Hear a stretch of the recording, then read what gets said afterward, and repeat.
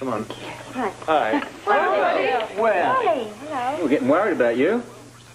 I thought it was going to be an easy job until I got out there. You were driving the elderly folks to the polls and back, were you? Right, the el- elderly, the infirm, anybody who couldn't get there on their own. They were all so grateful. How's it going? The, the race, I mean. Last thing I heard was that you were out ahead, Lee. Way ahead. Yeah, well, with uh, gambling going uh, down the tubes, this is only going to improve Lee's chances. Oh, don't look so happy, Holly. Sorry.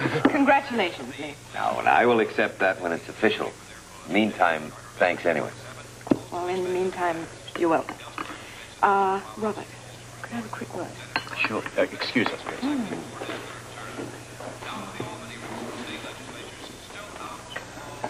Uh, Celia called. She's looking for you. She thinks that she should see Grant as soon as possible. She sounded really alarmed. Well, she can't talk to him until morning when the guy's worn out. I don't want to see him until he's fresh. Well, all right then. But we better call before we go. Where are we going? Deal was, I come here and then you go to Luke. Well, given the situation, I mean, look, Lee's practically guaranteed election here.